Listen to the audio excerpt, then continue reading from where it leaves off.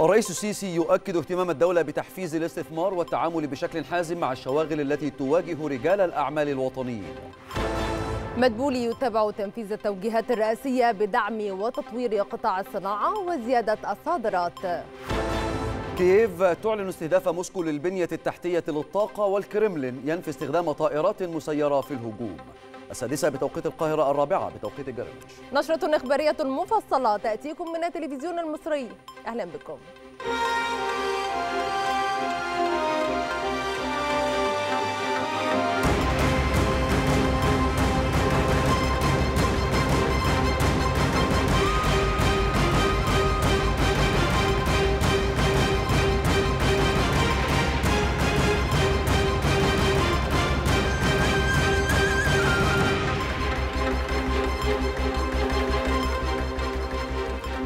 أكد الرئيس عبد الفتاح السيسي حرص الدولة على استمرار التفاعل المباشر مع المستثمرين ومجتمع رجال الأعمال الذين يمثل نجاحهم دعما للمسار الذي تنتهجه مصر نحو التنمية الشاملة وبناء الدولة. جاء ذلك خلال استقبال الرئيس السيسي وفدا من رجال الأعمال والمستثمرين المصريين من القطاعات الصناعية المختلفة وذلك بحضور رئيس مجلس الوزراء والقائم بأعمال محافظ البنك المركزي وعدد من الوزراء والمسؤولين. استقبل السيد الرئيس عبد الفتاح السيسي وفدا من رجال الأعمال والمستثمرين المصريين من القطاعات الصناعية المختلفة وذلك بحضور السيد الدكتور مصطفى مدبولي رئيس مجلس الوزراء. والسيد القائم بأعمال محافظ البنك المركزي والسادة وزراء الكهرباء والطاقة المتجددة والبترول والثروة المعدنية والتخطيط والتنمية الاقتصادية والمالية والبيئة والإسكان والمرافق والمجتمعات العمرانية والتجارة والصناعة والسيد مستشار رئيس الجمهورية للتخطيط العمراني. المتحدث الرسمي باسم رئاسة الجمهورية صرح بأن السيد الرئيس أكد خلال الاجتماع حرص الدولة على استمرار التفاعل المباشر مع المستثمرين ومجتمع رجال الأعمال الذين يمثل نجاحهم دعما للمسار الذي تنتهجه مصر نحو التنمية الشاملة وبناء الدولة وذلك بإقامة شراكة متوازنة مع الدولة تهدف إلى دعم الاقتصاد وتوطين الصناعة. سعيد بلقائكم. كل الدعم لكم والدعم ده وجهدكم إحنا محتاجينه آه نجاحكم إحنا محتاجينه وزيادة. أنا بكلمكم النهارده في في في, البداية ديت أنا عارف طبعا رجال الأعمال دايما والمستثمرين يعني بيفكروا طبعا في أشغالهم وأنا معاهم ومصر محتاجة. إحنا نقدر نتكلم بتواضع شديد دلوقتي إن الدولة قادرة على الانطلاق بجد قادرة على الانطلاق بجد. يبقى تبقى إيه؟ إن إحنا كدولة معاكم اولا إحنا واثقين فيكم جدا. وده برضو كلام مش معنوي. طب إحنا محتاجين إن إحنا ندعم ده؟ طبعا. نشجعه؟ أيوه. نكبره؟ أيوه. إحنا مركب واحدة ونحقق توازن في في الطرح.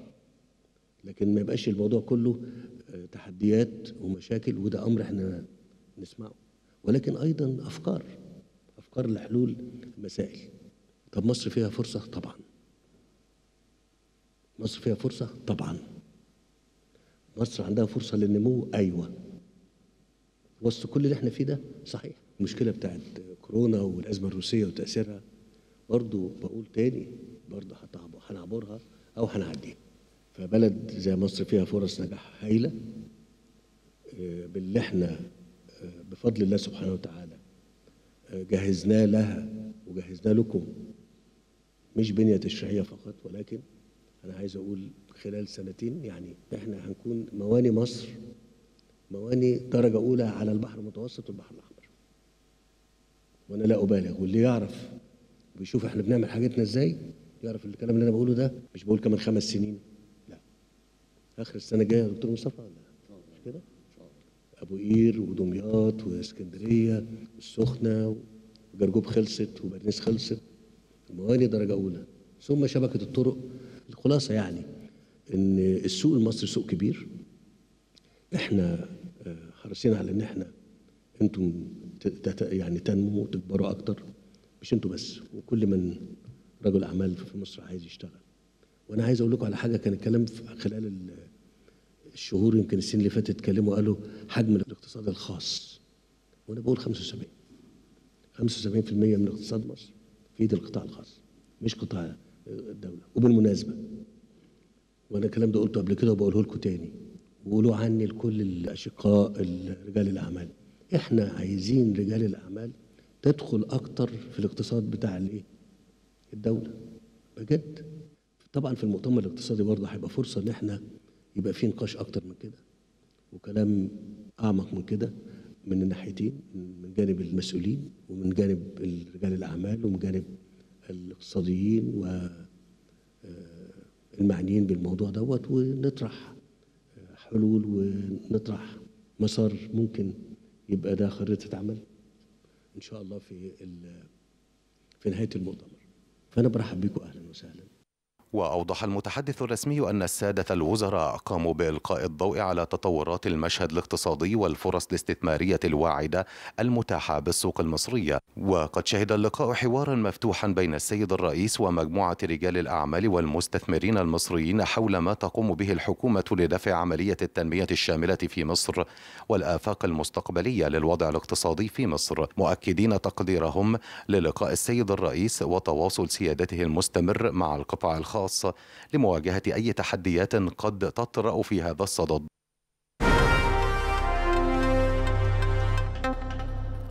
عقد رئيس مجلس الوزراء مصطفى مدبولي اجتماعا لمتابعة جهود دعم وتطوير الصناعة المصرية بحضور عدد من الوزراء والمسؤولين.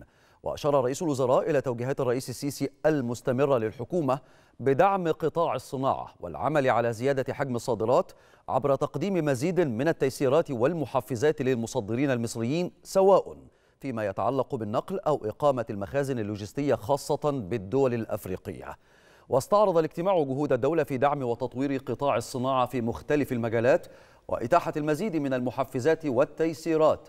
التي من شأنها النهوض بهذا القطاع الحيوي.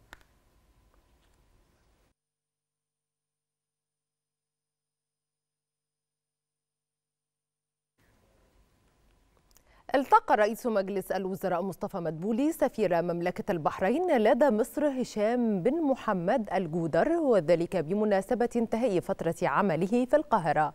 وخلال اللقاء أكد رئيس مجلس الوزراء على استمرار العمل خلال الفترة المقبلة من أجل تعزيز العلاقات الثنائية بين مصر والبحرين والبناء على الزخم في علاقات الود والأخوة التي تربط الرئيس عبد الفتاح السيسي بالعاهل البحريني الملك حمد بن عيسى آل خليفة بما يعود بالنفع على شعبي البلدين. من جانبه توجه سفير البحرين بالشكر لرئيس مجلس الوزراء والحكومة المصرية على الدعم والمساندة التي تلقاها خلال فترة عمله في مصر مؤكدا على ما توليه مملكة البحرين من اهتمام بالعلاقة الثنائية مع مصر.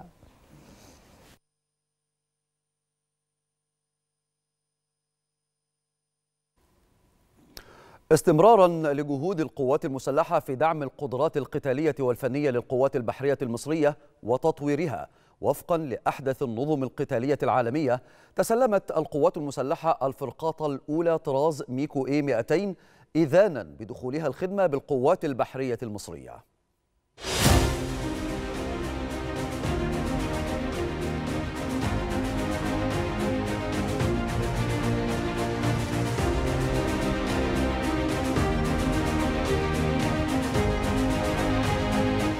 استمرارا لجهود القوات المسلحة في دعم القدرات القتالية والفنية للقوات البحرية المصرية وتطويرها وفقا لأحدث النظم القتالية العالمية تسلمت القوات المسلحة الفرقاطة الأولى من طراز ميكو إم 200 التي تم بناؤها بشركة تي كي إم إس بترسانة إس بي إن الألمانية وخلال الاحتفال الذي أقيم بمدينة بريمرهافن الألمانية قام الفريق أشرف عطوة قائد القوات البحرية برفع العلم المصري على الفرقاطة العزيز والتي تعد واحدة من أصل أربع فرقاطات من طراز ميكو 200 تم التعاقد عليها بين مصر وألمانيا.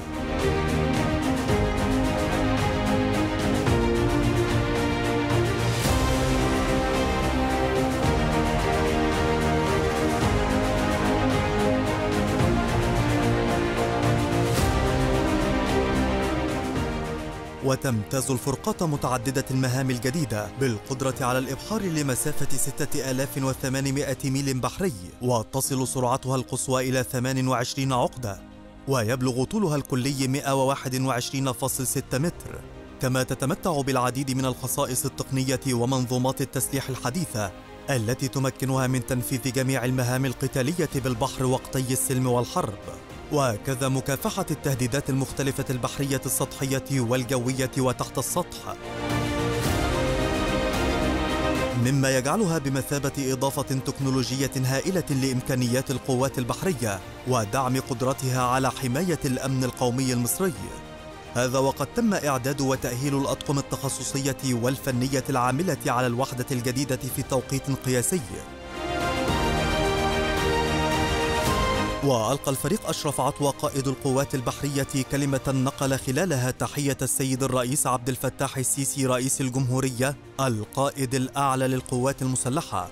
والفريق أول محمد زكي القائد العام للقوات المسلحة وزير الدفاع والإنتاج الحربي للقوات البحرية الألمانية وشركة تي كي ام اس مؤكدا اعتزاز القيادة المصرية بعمق وقوة العلاقات المصرية الألمانية وتقارب وجهات النظر في العديد من القضايا والموضوعات موضحا أن الوحدة الجديدة تعد الأكثر تطورا في السلاح البحري المصري لتعزيز قدرته على تحقيق الأمن البحري وحماية الحدود والمصالح الاقتصادية في البحرين الأحمر والمتوسط. حضر المراسم عدد من قادة القوات البحرية المصرية والألمانية والملحق العسكري المصري بألمانيا وعدد من ممثلي الشركة الألمانية تي كي إم إس المصنعة للفرقاطة العزيز. في إطار احتفالات مصر والقوات المسلحة بالذكرى التاسعة والأربعين لانتصارات أكتوبر المجيدة. نظمت جمعية المحاربين القدماء وضحايا الحرب مهرجانا رياضيا على ملاعب جهاز الرياضة العسكري بحضور عدد من قادة وأفراد. القوات المسلحة احتفالا بهذه المناسبة. تضمنت فعاليات المهرجان إقامة العديد من المسابقات الرياضية بين الفرق الرياضية لجمعية المحاربين تضمنت كرة السلة ورفع الأثقال وتنس الطاولة ومسابقة الموانع بالكراسي المتحركة ورياضة الريشة الطائرة. كما قدمت الموسيقات العسكرية عددا من العروض الموسيقية والمعزوفات الوطنية.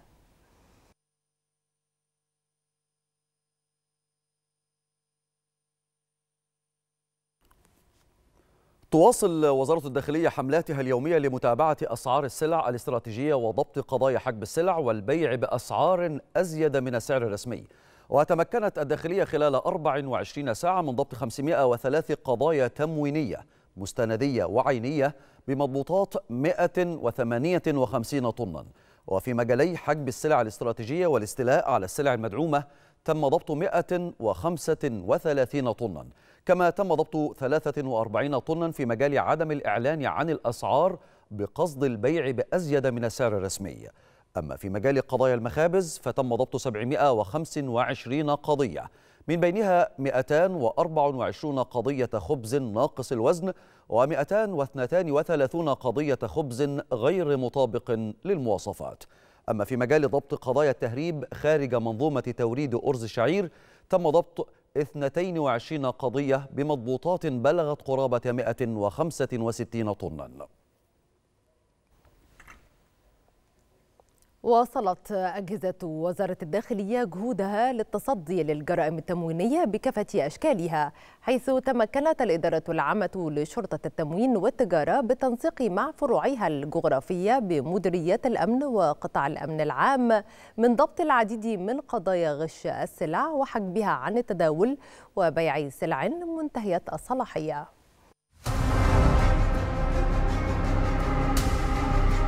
في إطار الجهود الأمنية المبذولة للتصدي للجرائم التموينية وفي مقدمتها حجب السلع عن التداول بالأسواق وبيع سلع منتهية الصلاحية واصلت الإدارة العامة لشرطة التموين والتجارة حملاتها على مستوى الجمهورية بالتنسيق مع قطاع الأمن العام ومديريات الأمن. وأسفرت هذه الحملات عن ضبط أكثر من 60 طن دقيق بلدي مدعم استولى عليها مسؤول مخبز بلدي بشمال سيناء ومالك مخبز بلدي بأسيوط. وكذا مالك مخبز بلدي ببني سويف عن طريق بيعها في السوق السوداء وهو ما يعد استيلاء على أموال الدعم المخصص لها. وضبط نحو 20 طن سكر تمويني مدعم وأكثر من 11 ألف عبوة زيت تمويني مدعم. بحوزة صاحب مخزن بدون ترخيص لتجارة السلع الغذائية بالجيزة ومالك محل بدال تمويني بأسيوط. قام بتجميعها للإتجار بها في السوق السوداء واستولي بذلك على أموال الدعم المقرر. حيث أن هذه السلع مخصصة على البطاقات التموينية. واستمرارا لنجاحات الأجهزة الأمنية في هذا الإطار تمكنت من ضبط قرابة 33 طن سكر وأرز أبيض ومكرونة غير معلن عن أسعارها. تم تجميعها لحجبها عن التداول بالأسواق لبيعها بأزيد من سعرها المتداول وبأسعار السوق السوداء بالقاهرة والقليوبية والإسماعيلية. كما أسفرت الحملات الأمنية لمتابعة ورصد حجب السجائر عن التداول وبيعها بأزيد من السعر الرسمي والمهربة جمركيا عن ضبط 178 قضية بإجمالي مضبوطات أكثر من 115 ألف عبوة سجائر مختلفة الأنواع. ونجحت أجهزة الوزارة في ضبط 40 طن أسمنت مجهولة المصدر. وغير معلن عن أسعارها قام مالك مخزن لتجارة مواد البناء ومسؤول مستودع لتجارة مواد البناء بالمنوفية بتجميعها بقصد بيعها بأزيد من السعر المتداول وتحقيق أرباح غير مشروعة من وراء ذلك. كما أسفرت الحملات الأمنية عن ضبط 62 طن أعلاف حيوانية مجهولة المصدر بحوزة مالك مخزن لتجارة الأعلاف الحيوانية بسوهاج ومالك مخزن لتجارة الأعلاف الحيوانية ببني سويف. قام بتجميعها بقصد بيعها بأزيد من السعر المتداول وبأسعار السوق السوداء. وضبط أكثر من 38 طن أسمدة زراعية مجهولة المصدر. تم تجميعها لحجبها عن التداول بالأسواق وبيعها بالسوق السوداء بالمنوفية والشرقية وقنا. وعلى صعيد ضبط سلع منتهية الصلاحية نجحت أجهزة الوزارة في ضبط قرابة 58 طن لحوم ودواجن ومقطعاتها ومصنعاتها غير صالحة للاستهلاك الآدمي. وتشكل خطرا على صحة وسلامة المواطنين حال طرحها للتداول بالأسواق خلال حملات شنتها أجهزة وزارة الداخلية بالقليوبية والجيزة وبورسعيد. وضبط أكثر من 24 طن سكر ومستلزمات إنتاج مياه غازية غير صالحة للاستهلاك الآدمي بحوزة مالك مصنع لإنتاج وتعبئة المياه الغازية بالمنوفية. استقبل وزير التنمية المحلية هشام أمنة المديرة التنفيذية للأكاديمية الوطنية للتدريب الدكتورة رشا راغب وشهد اللقاء استعراض الموقف التنفيذي لملفات التعاون بين الوزارة والأكاديمية في إطار بروتوكول التعاون الموقع بين الجانبين. كما تناول اللقاء جهود الأكاديمية لتطوير وتأهيل مركز التنمية المحلية للتدريب بسقارة وآخر مستجدات البرامج التدريبية التي تنفذها الأكاديمية الوطنية للتدريب للعاملين بالمحافظات. بدأت محافظة جنوب سيناء تشغيل أكبر محطة للطاقة الشمسية في مدينة شرم الشيخ وتأتي محطة الطاقة الشمسية على مساحة 250 ألف متر مربع بطاقة إنتاجية تتجاوز 42 جيجا وات تماشيا مع خطة واستراتيجية الحكومة المصرية للانتقال إلى الطاقة النظيفة. بدأت محافظة جنوب سيناء تشغيل أكبر محطة للطاقة الشمسية في شرم الشيخ على مساحة 250 ألف متر مربع وبطاقة إنتاجية تتجاوز 42 جيجا وات محطة طاقة عربية للطاقة الشمسية مساحة الأرض إجماليها 250 ألف متر بقدرة إنتاجية 20 ميجا. زائد قدرة إنتاجية سنوية 42 جيجا وات وبالفعل المحطة دي تم تنفيذها خلال مدة زمنية أربع شهور ودي تعتبر إنجاز في حد ذاته لمواكبة مؤتمر المناخ الجاري انعقاده شهر نوفمبر القادم.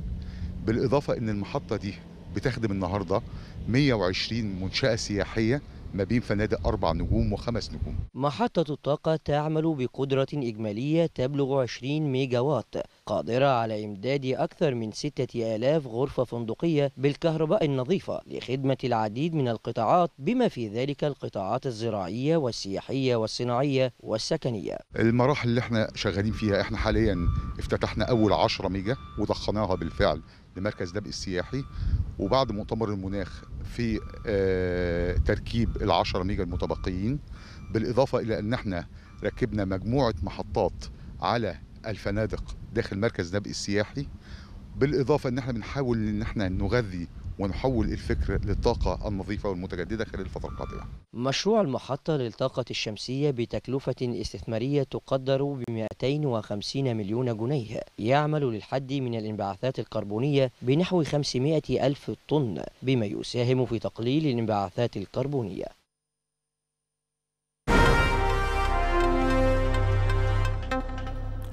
قدم وزير الخارجية سامح شكري التهنئة لشقيقه وزير خارجية الكويت الجديد الشيخ سالم عبد الله الجابر الصباح على توليه مهام منصبه. وأعرب شكري خلال اتصال هاتفي عن التطلع إلى استمرار التنسيق بين الجانبين بهدف تعزيز العلاقات الثنائية والتضامنية بين البلدين والتشاور المستمر حول القضايا الإقليمية والدولية. من جانبه أعرب الشيخ سالم عبد الله الجابر الصباح عن اعتزازه. بالعلاقات المتميزة والأخوية التي تجمع بين البلدين معربا. عن تطلعه للقاء وزير الخارجية سامح شكري قريبا من أجل التباحث حول الموضوعات محل الاهتمام المشترك وبما يحقق المصالح المشتركة للبلدين. فاز النائب أحمد عبد العزيز السعدون بمنصب رئيس مجلس الأمة الكويتي بالتزكية للفصل التشريعي السابع عشر وذلك خلال التصويت بالجلسة الافتتاحية التي عقدت اليوم بحضور ولي عهد الكويت الشيخ مشعل الأحمد ورئيس مجلس الوزراء الشيخ أحمد نواف الصباح. كان ولي عهد الكويت الشيخ مشعل الأحمد قد افتتح جلسات مجلس الأمة بعد انتخاب أعضائه. وفي كلمته أمام المجلس قال ولي عهد الكويت إن الحكومة لن تتدخل في اختيار المناصب بمجلس الأمة ولجانه ليكون المجلس سيد قراراته داعيا أعضاء المجلس للوفاء بالعهود والارتقاء بالممارسة الديمقراطية وإصدار القوانين التي تجسد الوحدة الوطنية. سوف نكون قريبين من الجميع. نسمع ونرى ونتابع كل ما يحدث من مجريات من مجريات الأفعال والأمور والتصرفات من جميع أجهزة الدولة المختلفة. وسوف نحاسب ونعاقب على الإهمال والتقصير والتفريط في مصالح الوطن والمواطنين وفقا للضوابط والإجراءات القانونية. وقبل هذا وذاك سوف نشكر المحسن على إحسانه وأدائه والمجتهد على اجتهاده وعطائه وسوف نظل على القسم العظيم بارين وعلى الوعد والعهد الذي قطعناه على أنفسنا باقين أوفياء للوطن والمواطنين.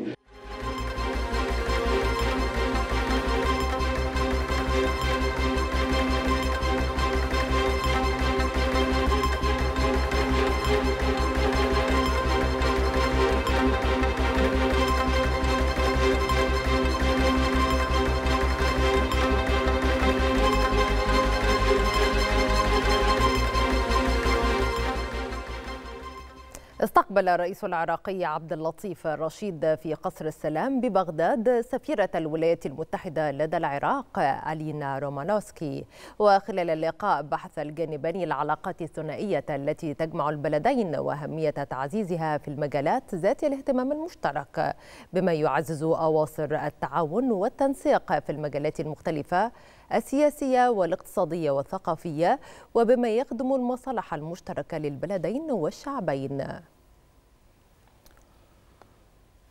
ونبقى في العراق حيث حدد ائتلاف إدارة الدولة موعد التصويت على الحكومة العراقية الجديدة. وعقد الائتلاف اجتماعه الدوري الذي خصص لمناقشة تشكيل الحكومة في مكتب رئيس مجلس النواب محمد الحلبوسي. وأعلن عن دعوة مجلس النواب لعقد جلسة يوم السبت المقبل للتصويت على الحكومة بكامل أعضائها.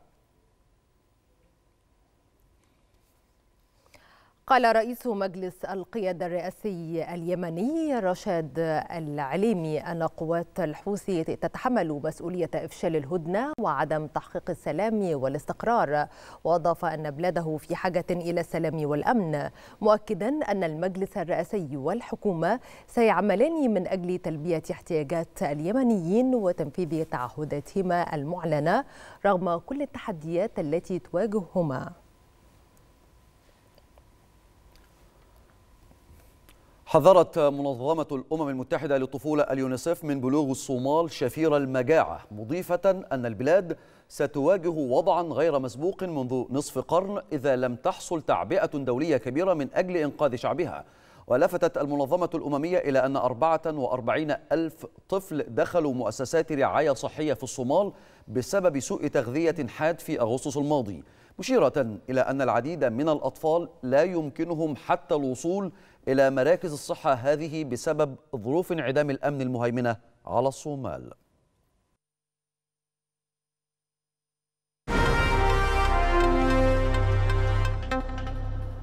دعا الأمين العام للأمم المتحدة أنطونيو غوتيريش المجتمع الدولي إلى استئناف المحادثات سريعا من أجل تسوية سياسية فعالة ودائمة في تيغراي بإثيوبيا وقال غوتيريش إن الهجمات العشوائية تقتل المزيد من الأبرياء كل يوم وتضر بالبنية التحتية الحيوية وتحد من الوصول إلى الخدمات الحيوية. وقد أجبر مئات الآلاف من الأشخاص على الفرار من منازل منازلهم. وشدد غوتيريش على أهمية أن تتقيد الأطراف بالتزاماتها بموجب القانون الإنساني الدولي.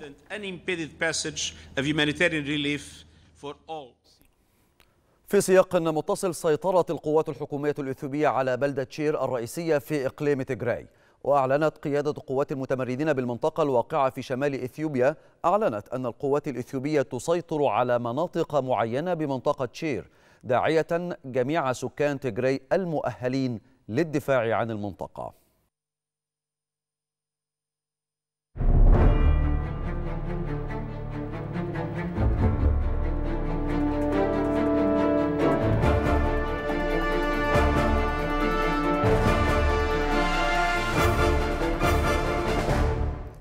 أكد الناطق باسم الكرملين ديمتري بيسكوف أن لا معلومات لديه حول استخدام الجيش الروسي طائرات مسيرة في أوكرانيا. يأتي ذلك بعدما اتهمت كييف موسكو باستخدام تلك الأجهزة لضرب بنى تحتية مخصصة لتزويد الكهرباء والمياه.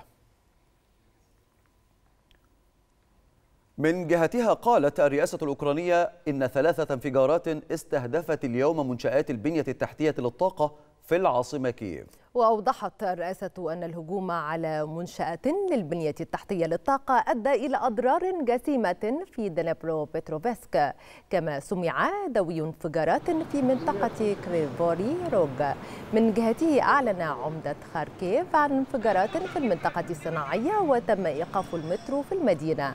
كما أعلنت السلطات الأوكرانية عن حالة تأهب جوي في كافة مناطق أوكرانيا وخصوصا العاصمة كييف وطلبوا من السكان النزول إلى الملاجئ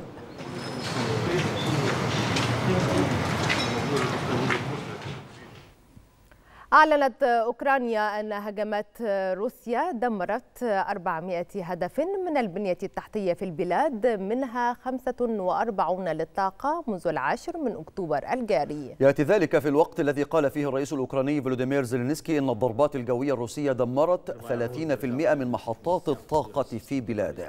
وأضاف زيلينسكي أن الهجمات تسببت في انقطاع التيار الكهربائي في أنحاء أوكرانيا مشددا على أنه لم يعد هناك مجال للمفاوضات مع الرئيس الروسي فلاديمير بوتين Володимир Путін може записати собі чергове досягнення. Убив أعرب الرئيس الأوكراني فلوديمير زيلينسكي عن خالص شكره للاتحاد الأوروبي على تقديم ملياري يورو كمساعدة مالية كلية لأوكرانيا. وشدد زيلينسكي في تغريدة عبر تويتر على ثقته في تنفيذ البرنامج الكامل من المساعدات والذي يبلغ تسعة مليارات يورو في أقرب وقت ممكن مثمنا دعم الاتحاد ورئيسة المفوضية الأوروبية أورسولا فون دير لاين. وأضاف الرئيس الأوكراني أن هذا الدعم مساهمة حاسمة لتحقيق الاستقرار المالي لبلاده. قال متحدث باسم وزارة الدفاع الأمريكية البنتاغون قال إن السلطات الأمريكية تتوقع نقل أول أنظمة صواريخ من طراز ناسماس المضادة للطائرات إلى كييف في الأسابيع المقبلة. في الوقت نفسه أكد المسؤول أن واشنطن نقلت بالفعل إلى كييف عددا كبيرا من أنظمة الدفاع الجوي المختلفة بما في ذلك أكثر من 1400 نظام صاروخي مضاد للطائرات من طراز ستينجر وتعتزم الولايات المتحدة إمداد أوكرانيا بثمانية أنظمة دفاع جوي كجزء من مبادرة لتعزيز أمن أوكرانيا. وتشمل إبرام العقود مع الشركات المصنعة من قبل وزارة الدفاع الأمريكية وليس توفير المعدات مباشرة من مخزون البنتاغون.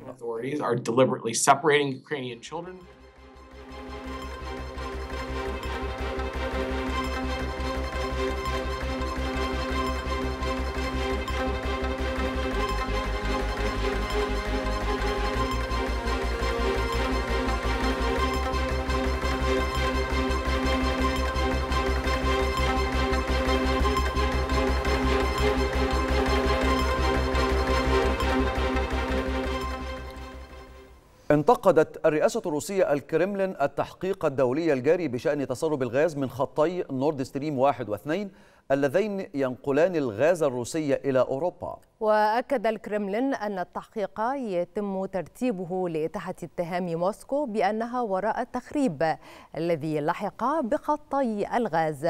واتهمت روسيا الدول الغربية بالوقوف وراء الانفجارات التي تسببت في حدوث هذه التسربات من خطي أنابيب الغاز.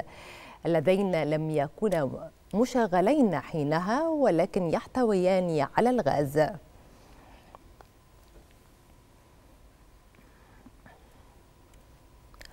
قالت شرطة كوبنهاجن أن التحقيق الأولي أو الأول في الأضرار التي لحقت بخطي أنابيب غاز نورد ستريم في الجزء الدنماركي من البحر البلطيق. يظهر أن التسرب ناتج عن انفجارات قوية. في غضون ذلك أظهر فيديو أضرارا كبيرة في خط أنابيب الغاز حيث تظهر تشققات في بعض أجزاء الأنبوب الذي تبدو حوافه حادة كما أنه بات مشوها في حين ظهرت آثار انفجار قوي في قاع البحر.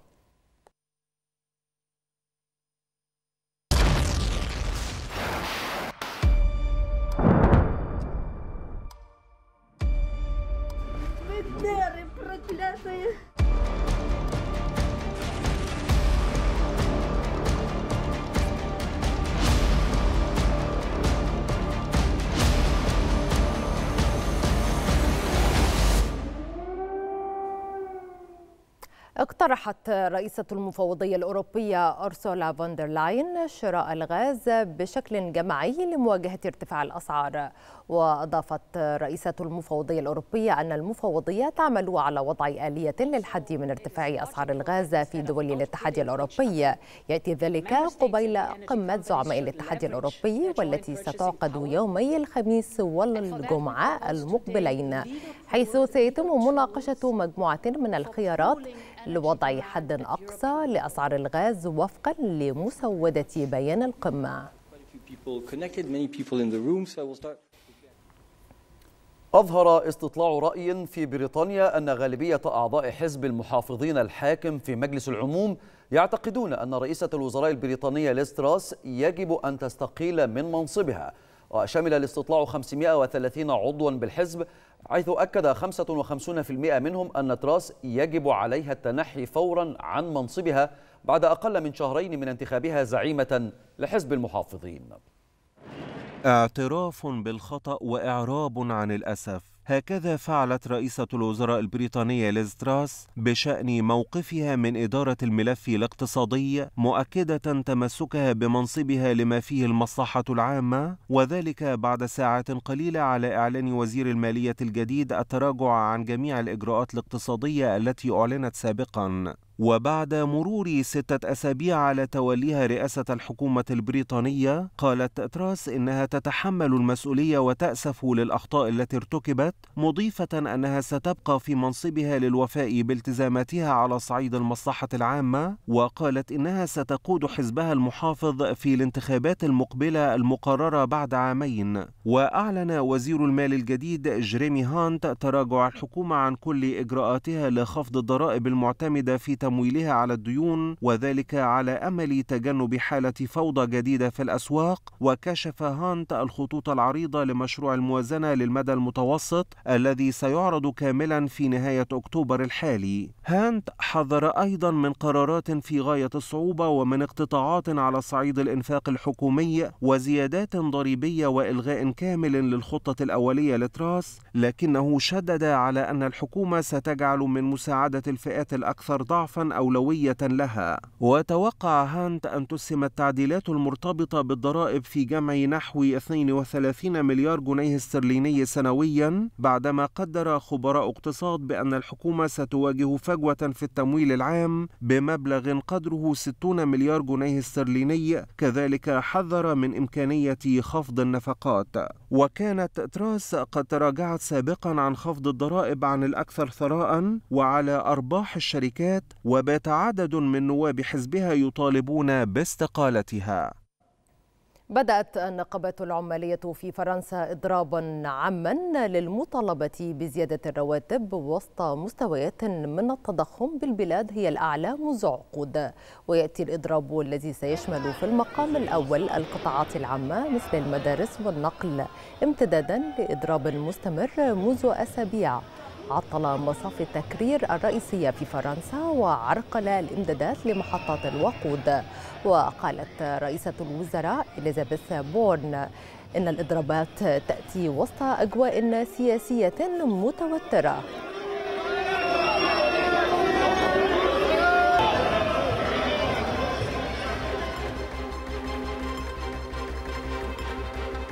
السادسة مستمرة وتتابعون فيها. بريطانيا تتحرك ضد تجنيد الصين لطيارين بسلاح الجو البريطاني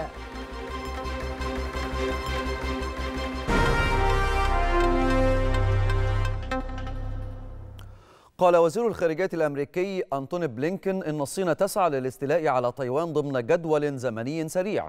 وحذر بلينكن من أن الرئيس الصيني شي جين بينغ يتبع, يتبع حاليا نهجا أكثر عدوانية متهما بينغ بخلق توتر كبير من خلال تغيير النهج تجاه تايوان. Um,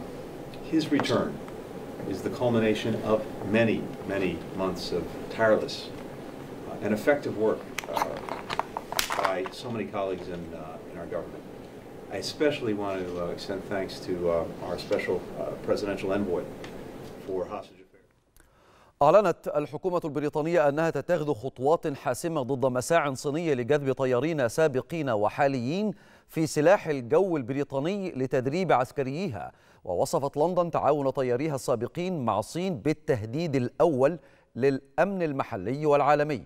لافتة أنه يشكل مصدر قلق بالغ.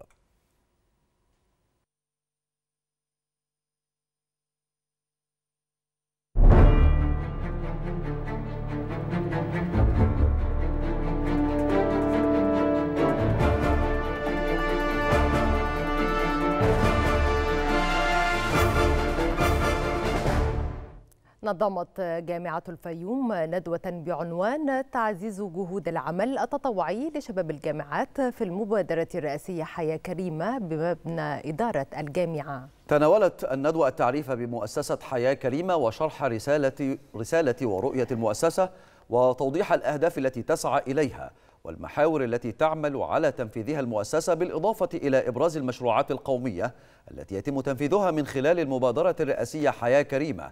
وتوضيح معدلات التنفيذ الجاري تنفيذها في محافظة الفيوم.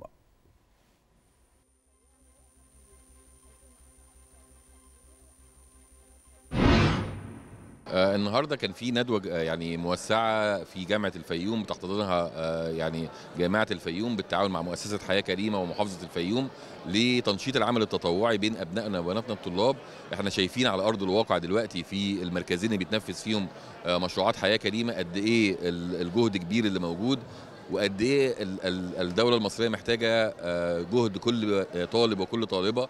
في كل مجالات تنفيذ المبادرة إن يبقى ليهم دور إيجابي. مبادرة حياه كريمة اللي هي بتعتبر أكبر مشروع قومي موجود في العصر الحديث من تاريخ مصر. اللي بيساهم فيها كافة مؤسسات الدولة. مؤسسة حياه كريمة الحقيقة بتقوم على العمل التطوعي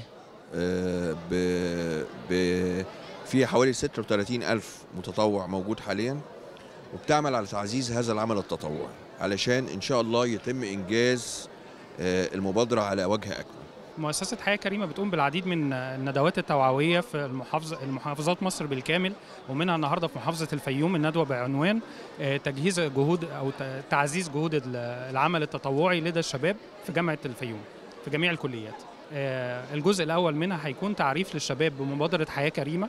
الجزء الثاني هيكون الجهود وأهداف مؤسسة حياة كريمة وإيه الفعاليات اللي إحنا بنقدمها لأهالينا في محافظة الفيوم.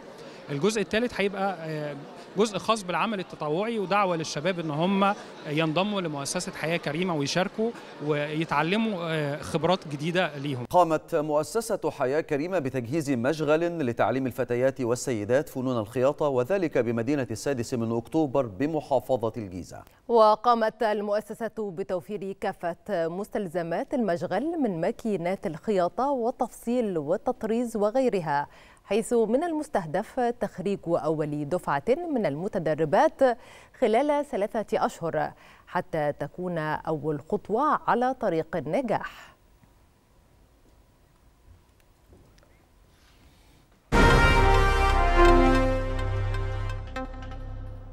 اختتمت فعالية مؤتمر الفتوى وأهداف التنمية المستدامة الذي نظمته الأمانة العامة لدور وهيئات الإفتاء في العالم. واستعرض الدكتور شوقي علام مفتي الجمهورية في بيانه الختامي للمؤتمر ما تم إنجازه من خلال المناقشات وورش العمل التي شارك فيها نخبة من كبار المفتين والوزراء ومن علماء الشريعة ورجال الفكر والإعلام والباحثين والعلماء. وقد خرج المؤتمر في ختامه بمجموعة من التوصيات وبمجموعة من القرارات المهمة التي خلص إليها من خلال اقتراحات السادة المشاركين من العلماء والباحثين وجاءت التوصيات على النحو الآتي.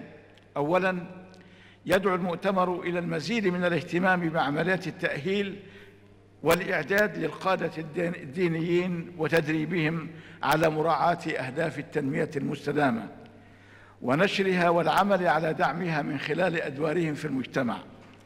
ثانيا يدعو المؤتمر إلى التعاون الدائم في مجال التنمية المستدامة والشاملة على المستويات كافة للوصول إلى غاية مشتركة ونتائج واقعية ملموسة ومن خلال ومن ذلك إنشاء مكاتب ووحدات تمثل قنوات الاتصال استقبل محافظ القاهرة خالد عبد العال بديوان عام المحافظة وفدا من العاصمة الفيتنامية هانوي لبحث سبل تعزيز التعاون المشترك بين العاصمتين القاهرة وهانوي في المجالات الثقافية والسياحية والتجارية. وخلال اللقاء أكد محافظ القاهرة تطلع المحافظة إلى مستقبل أفضل ومرحلة جديدة تشهد نموا في آفاق التعاون بين القاهرة وهانوي في شتى المجالات. كما أكد محافظ القاهرة تطلعه إلى توقيع مذكرة تآخي لتنظيم في مجال التبادل الشبابي والطلابي وترويج فرص التعليم وكذلك أنشطة التعاون في المجالات المحلية والثقافية بين البلدين.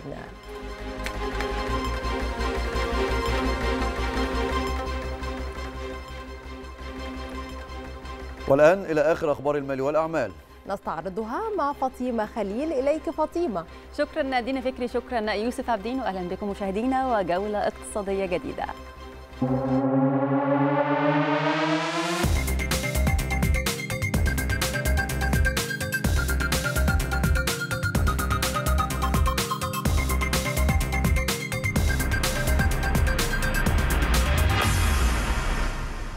نشر المركز الإعلامي لمجلس الوزراء تقريرا تضمن رسما توضيحيا حول المؤشرات الدولية في كافة القطاعات التنموية. ورصد تقرير أبرز المؤشرات الخاصة بالاقتصاد لافتا إلى تقدم مصر خمسة مراكز بمؤشر جاذبية الاستثمار في أفريقيا حيث احتلت المركز الأول عام 2020 وأشار التقرير إلى تحسن تصنيف الائتماني لمصر. وأوضح أن وكالة فيتش ثبتت تصنيف الائتماني لمصر عند B plus مع نظرة مستقبلية مستقرة في أبريل 2022 بينما ثبتت موديز التصنيف الائتماني لمصر عند B 2 مع نظرة مستقبلية سلبية في مايو 2022 كما صنفت ستاندرد أند بورز مصر عند B مع نظرة مستقبلية مستقبل مستقرة في أبريل 2022 أضاف التقرير أن مصر تقدمت ثمان مراكز في مؤشر الانفتاح الاقتصادي وكذلك تقدمها ستة مراكز في مؤشر البنية التحتية والوصول للأسواق. ولفت التقرير إلى أن مصر تقدمت 13 مركزا في مؤشر الدول الأكثر جاذبية في قطاع الطاقة المتجددة.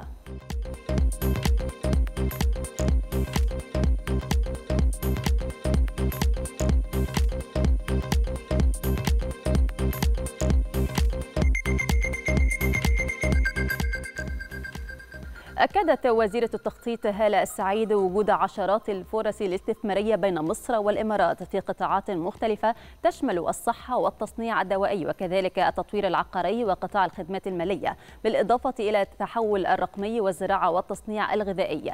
جاءت تلك التصريحات بمناسبة إعلان حكومتي البلدين الاحتفال بمرور خمسين عاما على تأسيس العلاقات عبر تنظيم احتفالية كبرى تحت شعار مصر والإمارات قلب واحد. وتتضمن الاحتفالية أجندة متنوعة من الفعاليات خلال الفترة ما بين السادس والعشرين إلى الثامن والعشرين من أكتوبر الجاري تستضيفها القاهرة بحضور وزراء من حكومتي البلدين وأكثر من 1800 شخصية من كبار المسؤولين ورجال الأعمال.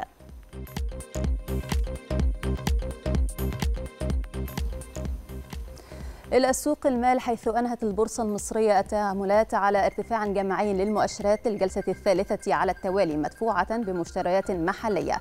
ارتفع رأس المال السوقي بنحو مليارين وتسعمائة مليون جنيه ليغلق عند مستوى 706 مليارات و354 مليون جنيه. على صعيد المؤشرات فتح مؤشر EGX 30 عند مستوى 10148 نقطة. ليصعد بنسبة 15 من 100% ويغلق عند مستوى 10100 63 نقطة. كما فتح مؤشر الشركات الصغيرة والمتوسطة EGX 70 عند مستوى 2196 نقطة. ليغلق مرتفعا بنسبة 85 من 100% ويغلق عند مستوى 2214 نقطة. فتح مؤشر EGX 100 عند مستوى 3147 نقطة. ليصعد بنسبة 58 من 100% ليغلق عند مستوى 3265 نقطة. إلى أسواق العملات حيث تبانت أسعار العملات أمام الجنيه المصري ليسجل الدولار الأمريكي نحو 19 جنيه و63 قرشا للشراء و19 جنيه و70 قرشا للبيع. بالنسبة لسعر اليورو وصل سعره إلى 19 جنيه و31 قرشا للشراء و19 جنيه و39 قرشا للبيع. أما عن سعر الجنيه الاسترليني وصل سعره إلى 22 جنيه و22 قرشا للشراء و22 جنيه و31 قرشا للبيع. أما عن أسعار العملات العربية فسجل الدرهم الدرهم الإماراتي نحو 5 جنيهات و34 قرشا للشراء و5 جنيهات و36 قرشا للبيع. أما عن سعر الريال السعودي وصل سعره إلى 5 جنيهات و22 قرشا للشراء و5 جنيهات و24 قرشا للبيع. في أسواق المعادن النفيسة ارتفعت أسعار الذهب العالمية لتصل إلى 1654 دولار ومحليا سجل عيار 18 نحو 950 جنيه بالنسبة لعيار 21 سجل نحو 1110 جنيهات وهو الأكثر مبيعا. بالنسبة لعيار 24 وصل سعره إلى 1270 جنيه أما عن سعر الجنيه الذهب وصل سعره إلى 8810 جنيهات. في أسواق البترول العالمية تراجعت أسعار النفط وسط مخاوف من تباطؤ النشاط الاقتصادي وانخفاض الطلب على الوقود من الصين في ظل تمسكها بسياستها الصارمة لاحتواء فيروس كورونا. هبطت العقود الآجلة لخام برنت 41 سنت أو بنسبة 45 من 100% لتصل إلى 91 دولار و21 سنت للبرميل. كما تراجعت العقود الآجلة لخام غرب تكساس الوسيط الأمريكي 41 سنت أو بنسبة 48 من 100% مسجلة نحو 85 دولار و5 سنت سنتات للبرميل. هبطت أسعار المازوت عالميا بنسبة 36 من 100% لتصل إلى 4 دولارات و7 سنتات للتر تراجعت أسعار الغاز الطبيعي بنسبة 4 من 10% لتسجل نحو 5 دولارات و97 سنت لكل مليون وحدة حرارية بريطانية.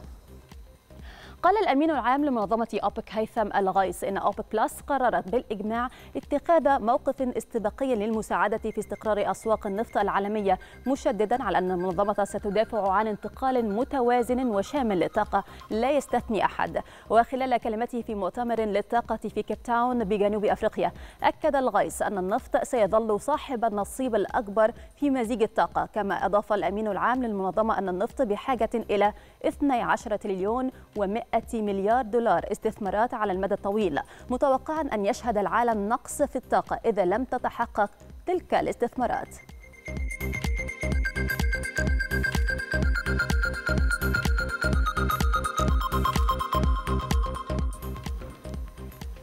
مشاهدينا نهاية هذه الجولة الاقتصادية عودة مرة أخرى ليوسف ودينا لاستكمال ما تبقى من السادسه شكرا لك فاطمة. تمر اليوم ذكرى رحيل الكاتب الكبير جمال الغيطاني الذي توفي في الثامن عشر من أكتوبر عام 2015 تاركا وراءه عددا من الأعمال الأدبية والآثار الثقافية.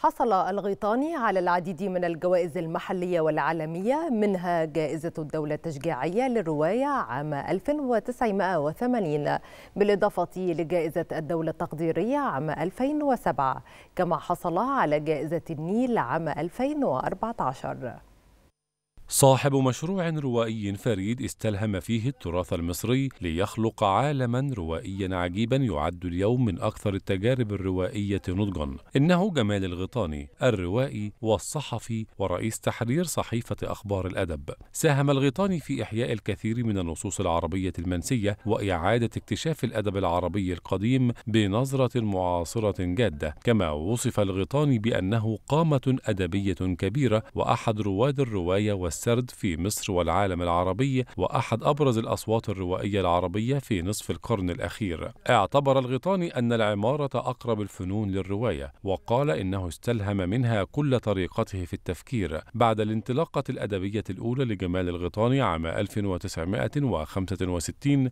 ظل ينشر قصصه في دوريات مصرية وعربية كثيرة. من بين أبرز روايات جمال الغيطاني إن لم تكن أبرزها هي رواية الزين بركات الصادرة عام 1974 والتي وصفت بأنها أحد أهم الروايات البارزة في الروايات العربية. كما صدر له رواية الزويل وصدر له أيضا رواية البصائر والمصائر وصدرت عام 1988 وأبرزت الرواية التحولات الكبرى في المجتمع المصري وترجمت الرواية إلى الألمانية عام 2001 انتهت أخبارنا وهذه تذكرة بالعناوين.